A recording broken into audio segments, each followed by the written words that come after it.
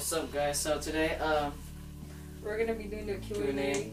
we're back. Um, on the Q and A was four months, months ago, ago. and then now we're gonna finally do. it. So the first question is, Gio, how old are you? I'm 12 years old. What a baby. Yep. Gio. Seems like all these questions are for you. Oh, Gio, if you had three wishes, what? Oh, Gio and Nate, well, if you had three wishes, what would they be? Can Let it. Joey go first. You go first, let go. Three wishes. uh, One.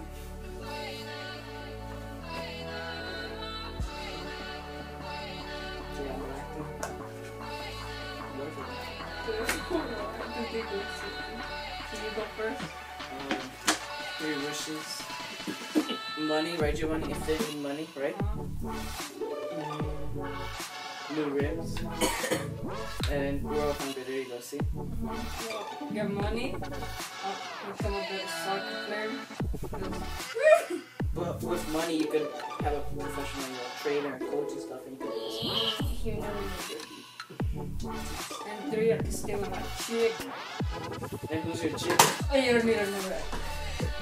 What's your favorite subject, Joanne? Gym. Which video game would you like to be stuck in? Epic Mickey. Two.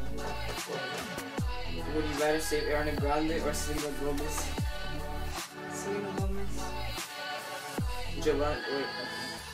Any shoes you recommend for playing indoor soccer or outdoor soccer? Indoor.